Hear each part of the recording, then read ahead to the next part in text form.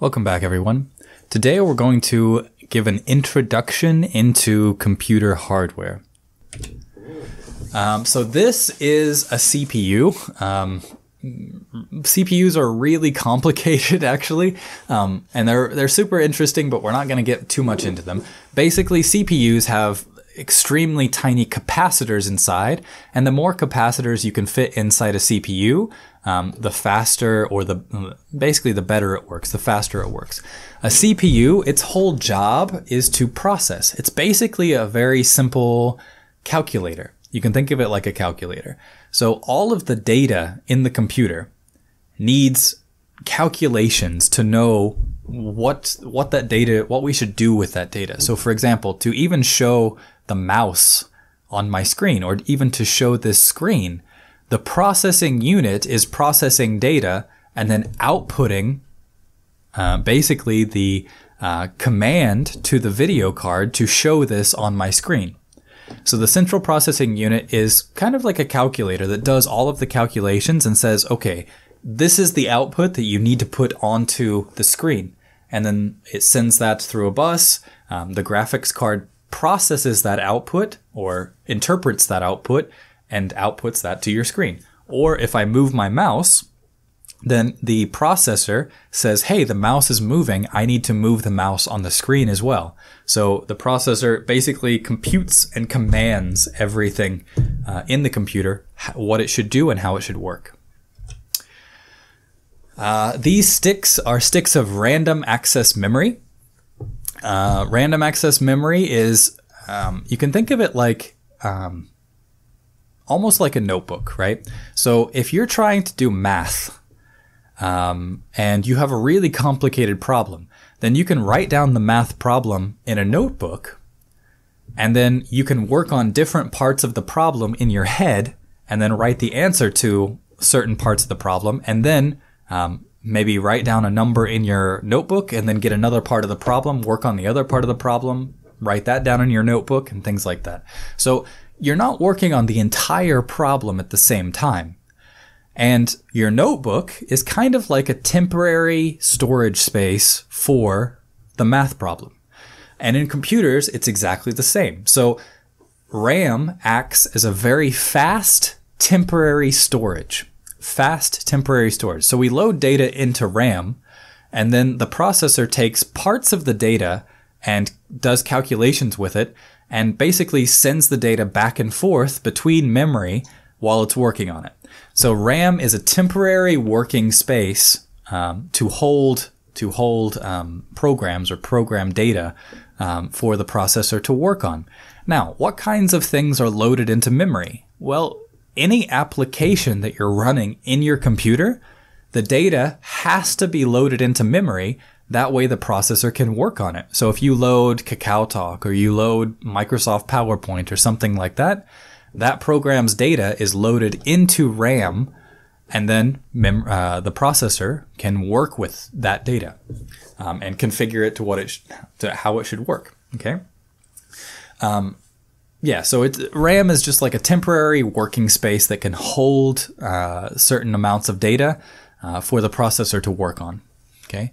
Um, other things that are inside RAM are like passwords. So anything you type into your keyboard also goes into memory. So a lot of criminals steal data like credit cards or passwords or things like that by looking at your memory and trying to collect memory that has maybe sensitive or secret information. If you open up a picture on your computer, then that picture's data is loaded into RAM. That way the processor can use it.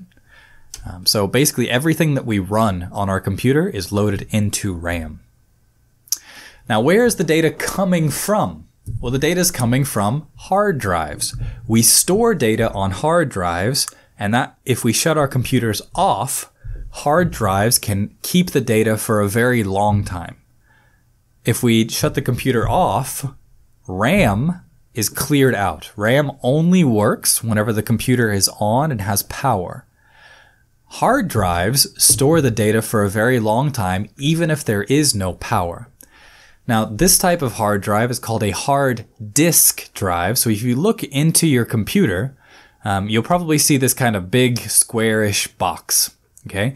And inside this big square, well, we first off, this this box is the hard drive itself. Um, there's kind of a protective ca- container on the outside. You do not open up these hard drives. Um, this is a SATA connector that would connect directly to the keyboard, and then these are jumpers that tell the hard drive a little bit about how it should be configured. But basically, we just plug in um, an uh, uh, SATA connector, um, and that's it. Um, yeah, SATA connector to the motherboard, and then the motherboard would be able to see the hard drive. Now, if we did open up this case, then inside we would see a bunch of disks they kind of look like CDs, but they're just made of metal. Um, so in a hard disk drive, we store data magnetically. So you can see this arm, and this arm has a head. And basically, this arm and head can change the magnetic fields on this metal disk. And by changing the magnetic fields, um, we can store ones and zeros or data. Um, so your hard drive is storing most likely um, on desktop computers. Your hard drive is a hard disk drive. Um, they're relatively cheap to store a large amount of data, but these are very slow. So RAM, for example, is very fast storage, but it's very expensive. Hard drives are very slow storage, but they're very cheap. So we use a combination. We use hard drives to save the data. And then whenever we need the data, we pull the data from the hard drive and load it into memory. Okay. And um, basically, uh, we just read magnetic signals off of these uh, platters or these disks. Okay. Another type of hard drive that's newer and faster, but also more expensive, are solid state disks. And uh, inside its case, it looks something like this. This is also a SATA connector or eSATA connector to the, the motherboard. Um, or SATA connector, sorry, the SATA connector to the motherboard. This is inside a case. If we open that up, then it just looks like chips. There's no moving parts, where if we go back, these disks spin. And because they spin, um, there's a lot of moving parts. Like the this arm will actually move back and forth, and these disks will spin. On solid state disks, nothing moves. It's just chips. But it's also more expensive to use. Um, it's also more expensive to store data inside these chips. Now, both of them work pretty well. Um, hard disk drives will store data a little bit longer, but it's possible that some of these motors break relatively quickly. On solid state disks, sometimes the chips, if you keep using the chip over and over and over again a lot of time, a lot of times, then the chips will start to go bad. So if you have a hard drive where you have to write a lot of data over and over again, hard disk drives are probably a little bit better, but they're slower. Solid state drives are really good if you're writing data really quickly and you don't change the data very often. Okay? Um, but you know they're both they're both pretty commonly used now, and most people keep their computers for like maybe two to five years. So it's unlikely that a solid state drive is going to go bad that that quickly. Okay. Um, next is a uh, uh, video card. This is a newer type of video card, and it basically is almost another computer inside your computer that focuses only on video. So whenever we go back, I'm going to go back a little bit. The processor that we have in our computer normally is what we call a general processor. It's used for general processing. That means that it can handle a bunch of different problems, but it's not really good at solving any of the problems. Okay? Um, now, processors are quick, but it's used for general purpose processing. That means that any problem that it gets, it should be able to handle. Now, if we go back to video processors, these video cards that are that we put inside an expansion slot, these video cards um, have their own processor inside. So this is a video card with a case. This is without the case, and you see this processor in the middle here. This processor is specifically designed to do math for video. So it is really, really good at doing extremely fast math calculations, but it would be really bad at running Kakao Talk, right? Because Kakao Talk is not um, uh, video intensive. So its processor would be really bad at running something like Kakao Talk, but it would be really good at running like extremely realistic graphics or like rainfall or something like that. Um, so there's a processor, and this processor is specifically designed to render video. Okay, so we can use this for a lot of different things. Basically, it's extremely fast at uh, uh, math calculations. Okay, now if we look at the back of it, there's a couple different connectors. These are, it looks like a DVI, two DVI connectors, and then an HDMI connector.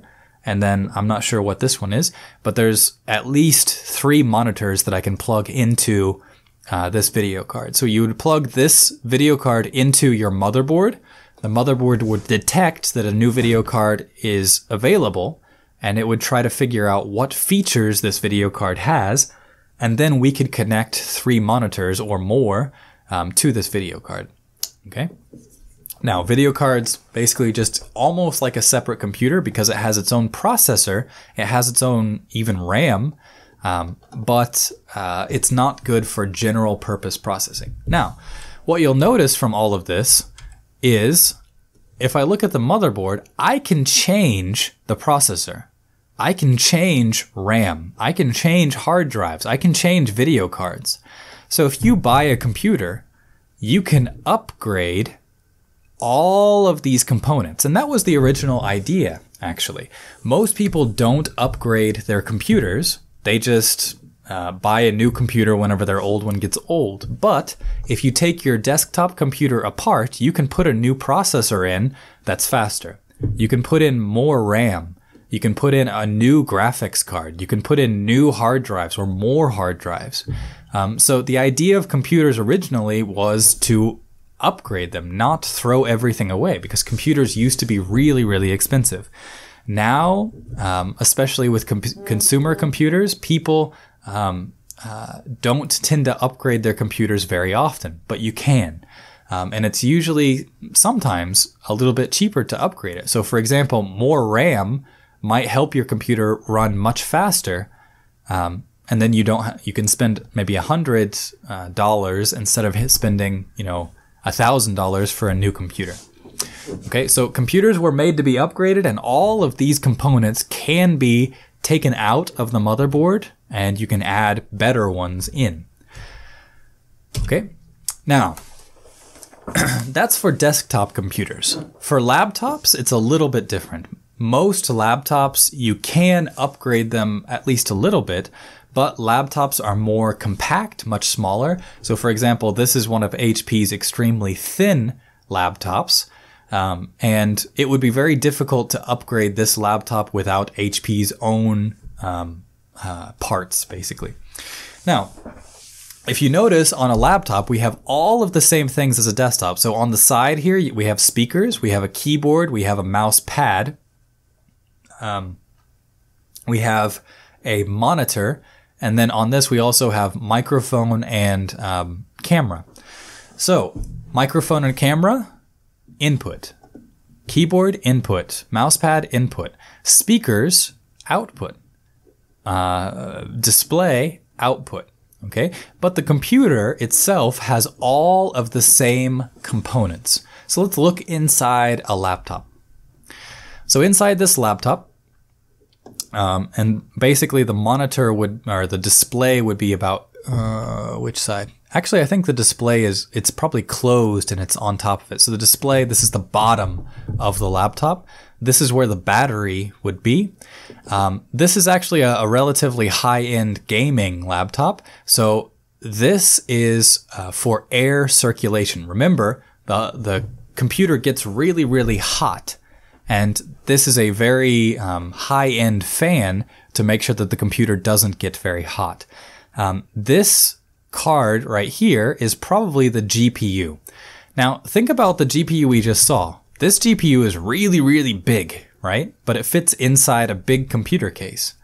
This GPU is much smaller and maybe a little bit less powerful, but still quite powerful GPU.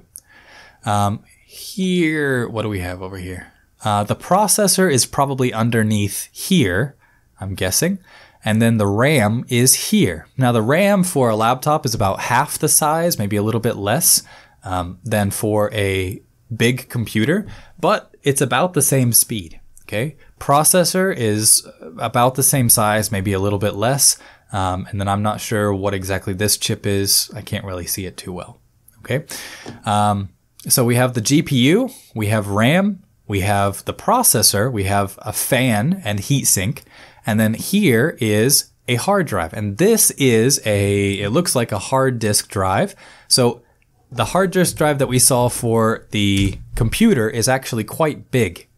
But the hard disk drive that we put inside a laptop is rel- is actually very very small. So that's why laptops tend to have smaller size capacity hard drives than computers or big computers because um, the the space or the size of the disk must be much smaller. So we have storage, we have RAM, we have processor, we have GPU, we have fan. Okay, and then we have power, but the power is not in there right now. So all of exactly the same components as a desktop computer, except in much smaller size. So with a laptop, it's a little bit harder to change components. You can change RAM pretty easily. You can change hard drive pretty easily, but changing the processor, changing the GPU, it's a little bit more complicated. Okay, and this brings us to phones. So are smartphones computers? Yep, definitely. Okay, so this is a an iPhone. Uh, yeah, just a newer iPhone and newer Samsung. I don't know what this is. A um, maybe a S. I don't know six, three, six, five, something like that. I don't know. So a Samsung phone and an iPhone. And let's take a look on the inside. So this is an iPhone from the inside. It has a battery and the battery takes up most of the phone's size and capacity, right? The battery is pretty much everything. If we take the battery out, there's I don't think there's anything behind the battery.